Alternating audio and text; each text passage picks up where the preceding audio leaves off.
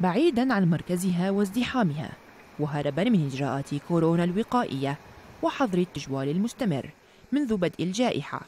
اتجه عدد من الإسطنبوليين نحو الضواحي التي تتميز بقربها من الساحل وغاباتها وإطلالتها.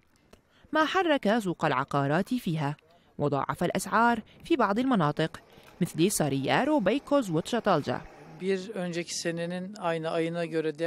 عند المقارنة مع السنة السابقة نجد أن ضواحي اسطنبول تحديدا شهدت ارتفاعا في الأسعار بنسبة 60% ولا سيما بعد الإقبال الشرائي عقب قرار حظر التجوال. وذلك للبحث عن مناطق طبيعية تخرجهم من العزلة وهو ما لوحظ عند الأتراك أكثر من الأجانب. وللأمر عوامل أخرى تتعلق أيضا بالقروض والتسهيلات المصرفية المرافقة للأزمة أيضا.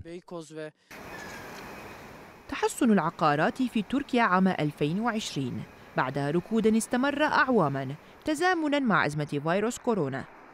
دفع مختصين إلى الاعتقاد بأن لها الأثر الأكبر في تحرك السوق في تركيا عموما واسطنبول خصوصا ولا سيما في المناطق المحدثة والضواحي والتي يكثر فيها نظام المجمعات السكنية.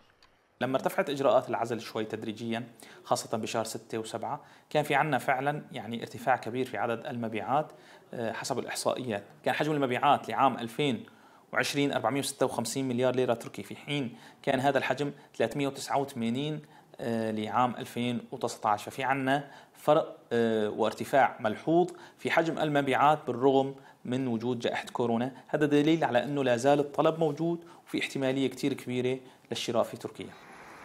سنة 2020 أثرت في معظم القطاعات ربما ولكنها بلا شك وبحسب الأرقام تسببت في العكس بالنسبة لسوق العقارات إذ حققت نموا بالربع الأخير ساهم بتعويض التراجع الذي شهده المجال على مر السنتين السابقتين وفقا لتقرير جمعية البنائين وصناعي مواد البناء الأتراك إمساد.